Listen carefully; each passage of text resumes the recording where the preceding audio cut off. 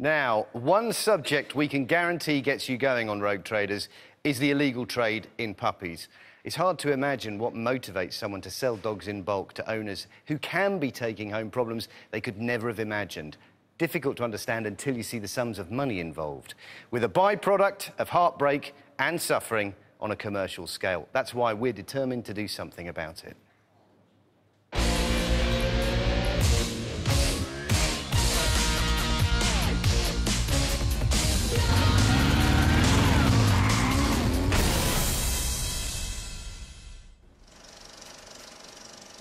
No animal lover would ever buy a dog from a place that looks like this. No, but industrial puppy farms aren't the only way disreputable puppy sellers do business. Check out these ads. That's more like it. Cosy home furnishings, private seller. That's what you want. Not a big compound full of cages. They look comfy and cosy, but the reality is not so rosy. Take this one. It wasn't posted by a private seller called Derek at all, but by this man, Cameron Dorbin Barnett. The internet provides a cushion between him and his customers. They see puppies to hug on sofas and rugs, which means he never has to furnish them with the truth. Rebecca came across Cameron in January after responding to an advert selling a puppy posted by a private seller, apparently called Sarah P. But Rebecca has owned Cavaliers for years and knew that with this pup there was something most definitely up. He looked like a really unhappy puppy. The description was quite concerning. It said that he had a grade 3 heart murmur and hopefully it would fade over time. Rebecca was concerned for the puppy's well-being. She knows it's unusual for heart murmurs to fade, so she decided to check him out. And even more alarm bells started to ring. The address they gave me didn't exist. So how were you expected to, to well, find the place? He said to give him a call when I got to a certain postcode. Rebecca was eventually directed to a nearby farm where she met not Sarah P, but Cameron. She asked him about the heart murmur. It was really skimmed over. He just didn't claim to know anything about it, and sometimes cavaliers have murmurs, and, you know, that was the extent of it. What was the impression you were getting at that stage? I hear he's lying. Rebecca knew she might be taking on a sick puppy, but she was worried about him, so she bought him for £300, renaming him Milo and just days after getting him home, it was obvious she'd been right to be concerned. Milo was rushed to hospital. He went downhill really fast and um, they had to put him on oxygen and pump him with antibiotics. Milo was diagnosed with kennel cough, a suspected parasitic infection and a life-threatening heart condition. He also hadn't been microchipped, which is against the law. I just thought I was just going to lose him straight away. Thankfully, he got to the vets in the nick of time, but in total, it will take around £8,000 of treatment. Yes, you heard that right. £8,000, including open chest surgery to keep him alive. So, the advice, and it's very good advice, is that if you have any suspicions about anywhere selling dogs, then you don't buy one. We have a big bag full of suspicions about Cameron. Guess what we're about to do? What are we going to do? We're going to buy a puppy. You see, it's simply the only way we can find out for ourselves how Cameron is doing business. We respond to this advert as professional consumer journalists, so we are conducting a completely dispassionate test purchase. Oh, look at their little faces. Oh, sorry about that. These are golden doodles, a golden retriever and poodle mix. Etymologically, it should of course be either a goodle or a pood retriever, depending on who was standing where when it happened. We don't know that detail. So the team sets off to see a man about a Godondel retriever. We pick up fashion guru and expert witness vet Simon Thomas along the way. He is a man who knows about dogs and how they should be sold. The ad has been posted by a Derek W. in Lincolnshire, He's listed as a private seller, which according to the website's rules means these puppies should be pets, not bred for the purposes of making a profit. Come out of their driveway. Go down there about 80 yards. Like Rebecca, we're told to drive to a postcode, and then we're redirected to a nearby farm. And here we meet Ronnie. Uh, Come on in. Come meet our babies. Oh. oh. Wave on your head. Hiya. And Cameron. You're right. Cameron, nice to meet you. But no Derek. Like an abacus dipped in treacle, it doesn't add up. We didn't know what to price them Yeah. because these are our pets. We're clearly given the impression the puppies are the one off litter of a family pet. I tell you what, for a first time mum, she is done amazing. Yeah? Yeah, we're really impressed with her. You gonna do it again or? Don't know. I don't know. Maybe next year. Yeah. Maybe when the weather's a bit warmer. But Simon's not convinced. She's not interested in her litter at all. It's a sign she might not be the real mum. His biggest concern, however, is the puppies. She seems a bit scared. I think they're thinking, who are these people? Why are all my siblings disappearing slowly? These puppies are not acting like puppies. Sleepy little girl. Don't get me wrong, you've come in when they're pretty sleepy and tired. You'll see, when you get home, they are nuts. They run around in circles for about an hour. So they've they been running around a lot this morning? Yes. We're not buying what they say, but we are buying a puppy. We pay £725 and we call her BB. See? Her behaviour is so unusual, we get her checked out right away. This dog's posture is saying, I'm really scared of the world. She's terrified, really. My immediate overriding concern is why is she so quiet and subdued? I've had about two wags out of her tail. She's really not shown the sort of bright, vigorous response you'd expect with a, a young puppy. This is kind of the quietest puppy that you'd ever meet. Later that evening, BB takes a turn for the worse. Her tummy's getting bigger every time I feel it. She's definitely breathing at least twice as fast as she should be. She's put on a drip, and Simon runs a series of tests on her blood. The results are worrying. So we've got a raised white blood cell count, which would confirm our suspicion that all is not well and we've got an infection. So, two sick doggies. It's very concerning. By the way, please don't confuse Lincolnshire based Cameron Dorbin Barnett with any other puppy traders who may have the same or similar names. You never know. I expect people, Nikki, are getting in touch about that story, are they not? Yeah, they are. Back to Rogue Traders. Lincolnshire, wide open spaces, punctuated by the odd farmyard, exactly where you might expect to go to buy a happy, healthy, waggy tailed pup. That's not what we've got from Cameron Dorbin Barnett. Just hours after leaving Cameron's farm, we discover our puppy, BB, is seriously ill. So we've got a raised white blood cell count, which would confirm our suspicion that all is not well and we've got an infection. She's really not shown the sort of bright, vigorous response you'd expect with a, a young puppy. This is kind of the quietest puppy that you'd ever meet. Thankfully, with some medicine and TLC, by morning she's beginning to improve. But a few weeks later, further test results show how lucky she was. Simon, I know you've carried out tests on BB. What have they revealed? The most important and worrying thing was that she was confirmed as having a, a heavy infestation with a parasite called Giardia. How serious can Giardia be? Without treatment, she might have become very ill indeed or even perhaps have died. Giardia is usually a sign of unhygienic conditions, and it is contagious. Happily, BB's made a full recovery. Hello, how are you? You all right? Good, thank you. Thank you very much. She's now settling into her new home with Simon's son Lawrence and his daughter in law Anna. Yeah. you seem better. You seem much better. Yes. Can we go inside? Yes, good plan. I think I need a wash. to tell me about the, the progress that you've seen then in, uh, in BB over the last couple of weeks. When she first arrived, she was very, very quiet, kept herself to herself, and didn't know how to play with toys. But it's definitely just taken her that little bit longer mm-hmm. to get used to everything. Well, I think she's in the right place. look at her now, look. Look at you. And is she going to get much bigger? A lot bigger. A lot bigger. It's great that BB's doing so well, but we are concerned about the other dogs we saw on the farm.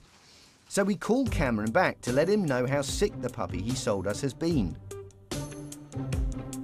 Apparently, it's quite contagious. Um, I rang my vet and spoke to him, and he said it, it is contagious, but it's not severely contagious. And he said it could come down to stress. It could be anything that could cause it. You've got to think where you live, the water could be different. Make sure that your vet is not trying. I hate to say it, but some vets you do have to treat them a little bit like a mechanic. They are at the end of the day still a business. I hate that when they do try and rip you off. Five years to qualify, starting salary 30k. They're clearly only in it for the money. Now, let's have a look at the scale of this thing. At times like these, there is no substitute for a cork board and knitting supplies. Despite giving customers the impression he's selling the litter of a family pet, in just six weeks, we linked 22 adverts, 10 different breeds, 11 different names, and 7 different phone numbers to Cameron. Cavalier King Charles Spaniels. Oh yeah, hello. The Golden Doodle puppies. Right, I can't do anything today, but I can tomorrow. The Schnauzer puppies. Yeah. A Dachshund puppy. Is, is that you? Yeah. German Shepherd puppies online. Yeah. The whole thing starts to unravel like a ball of wool in a cat's paw, if cats are your thing. Who am I talking to? Tom. Have I come through to Daddy? Yeah. Who am I speaking to? Callum. This is the doghouse, and Cameron is in it. The lies keep stacking up.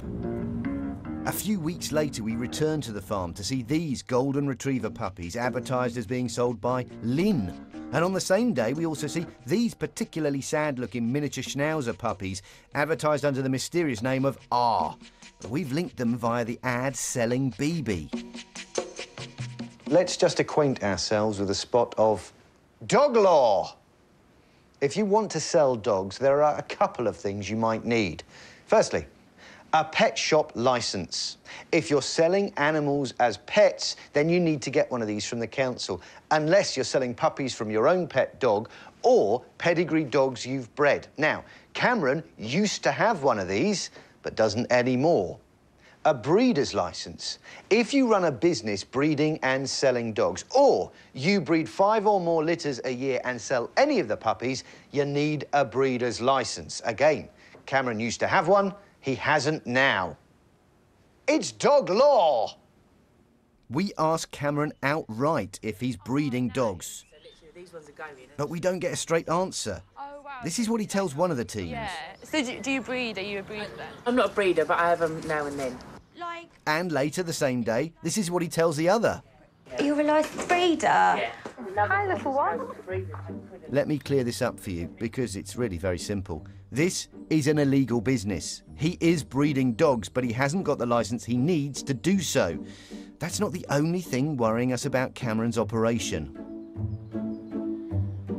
He's got a little crusty nose. Oh. Yeah, it's a farm here, so like, so she she goes in the chicken coop and steals the eggs and eats chicken. We show our footage to expert witness vet Simon. This considerably increases the risk that the puppy might be ill after you bought it. I typed out a paper and on the back I put all things that potentially could go wrong but are not that major. Sometimes you get a little bit of blood in the poo. It's all normal things, but to a first-time dog owner it might seem quite scary. It's not normal for dogs to have blood in their poo. The whole stress of driving them home and new environment, it can upset them and it can, do you know what I mean, it can give them a little stomach up, up upset. And don't rush and take them to the vet straight away. Mm. Sometimes just let them settle in. If we'd followed that advice, BB could have died. Cameron is lying through his teeth. So, the dog has the rabbit in its sights. Cameron is using false names and adverts to pretend to be a loving pet owner who's had a windfall of puppies to share. In fact, it's nothing more than a business, an illegal business that has no place at all in the UK but seems to be booming. But the boom is about to go bust. In tonight's Rogue Traders, we've been following a lead which pins the title Illegal Puppy Dealer firmly onto the forehead of Cameron Dorbin Barnett of Lincolnshire. He used to sell puppies in Norfolk until he surrendered his licence there. Now he's gone north. Sadly, we've seen one of his dogs nearly go south in front of our very eyes. Cameron Dorbin Barnett is illegally selling puppies for profit. He tells his customers he's not running a business, but in just six weeks, we've linked 22 ads using 11 different aliases and seven phone numbers to his farm. And the puppy he sold us was seriously ill. Her tummy's getting bigger every time I feel it. She's definitely breathing at least twice as fast as she should be. He's misleading his customers, flying in the face of the law, and we think it's time he stopped. And that's why we're on our way now to Cameron's farm, um, to let him know we know what he's doing uh, and how he's operating.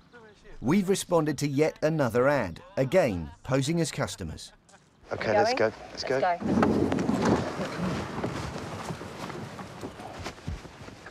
Cameron, that all right, BBC Rogue Traders. You're running an illegal puppy operation here, aren't you?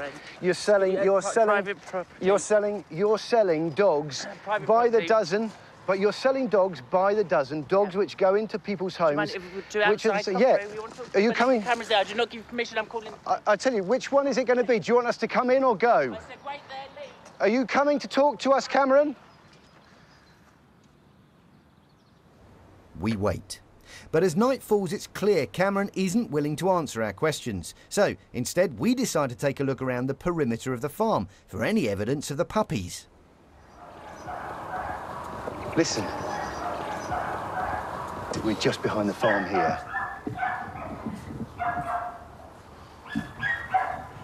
And we can hear that behind that fence. There's certainly a number of dogs. I can see through just a crack there. There's a very big dog in there. Uh, and through the crack in the fence there, I can see a line of kennels. And uh, it, what I can see, it seems to run the length of this fence. Unfortunately, it's too dark for the cameras. Inside, all I can see is mesh cages on their land, what looks like an, in, an industrial kennels that's running here. But uh, from the adverts, you think they're family pets. And that is exactly the way puppy dealers now have stepped up their game to fool you into thinking you're buying a family pet, when in fact what you've got in there is an industrial kennel. It's a huge compound. You'd never know about that if you're buying your puppy off the lino in there, like we did. Since then, Cameron's been in touch to tell us that he works hard to support dog rescues, to save the lives and help to rehabilitate abused dogs, and that he has monthly visits from a vet who's happy with the condition of his animals. Cameron also said trading standards have visited too and found his conditions to be excellent. He says he invited us back on a number of occasions to view his kennels and dogs, but that we've refused. Well, Cameron, the reason is simple. You're making out to potential owners that they are buying from a series of family homes hidden behind fake names. You're selling dogs illegally without a license. What condition the kennels are in now is neither here nor there. They shouldn't exist. But we are glad to say, very much in existence, despite a close shave, is BB here with Simon, Lawrence, and Anna. How are you doing, Lawrence? Good to see you again. Good to see you. Where's my licky welcome? Where's my licky welcome? you are gorgeous, aren't you? Now, I understand no longer BB. There's been a change. Yes, yes, she's been rechristened as Coco now. And how is she getting on? Well, as you can see, very much happier than she was when we first got her, but we're loving having her in our lives. Well, I'm really pleased to see she's got such a good home. Great to see you guys.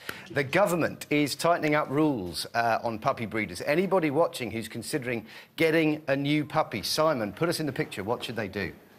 See the puppy with their mother, check out the health of the puppy, ask questions, don't make a snap decision and be just caught with a cute puppy. Yeah. Check out the advice on the websites.